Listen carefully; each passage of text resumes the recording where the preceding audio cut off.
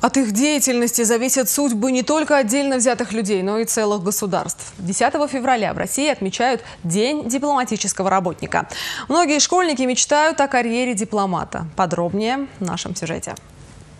Выбрать будущую профессию в 16 лет – задача не из легких. Это понимают не только выпускники, но и преподаватели. Именно поэтому учеников старших классов готовят к выбору профессии основательно. Помимо прохождения тестов на профориентацию, сегодняшние старшеклассники с большим интересом относятся к специализированным курсам. В этом году в столицу Чувашии приехали преподаватели из МГИМО, которые провели мастер-класс для потенциальных студентов.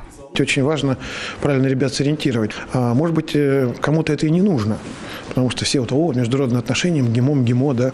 Вот. А это же достаточно сложная и серьезная работа, которая накладывает определенные ограничения на жизнь, на дальнейшую э, судьбу и карьеру.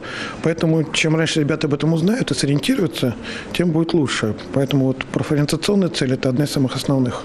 Как официальный представитель государства, дипломат в любой ситуации должен демонстрировать высокий уровень самоконтроля, острый ум, выдержку и политкорректность, подчеркнул Андрей Емелин. Это не каждому дано. Впрочем, это понимают и сами родители. Даже если мой ребенок, пройдя а, обучение в этой школе, решит для себя, что это не его стезя, и не выберет эту профессию, я считаю, что это тоже большое достижение, это большой плюс. Он поймет, чего он не хочет. Значит, следующим этапом, следующим шагом будет а, правильный выбор.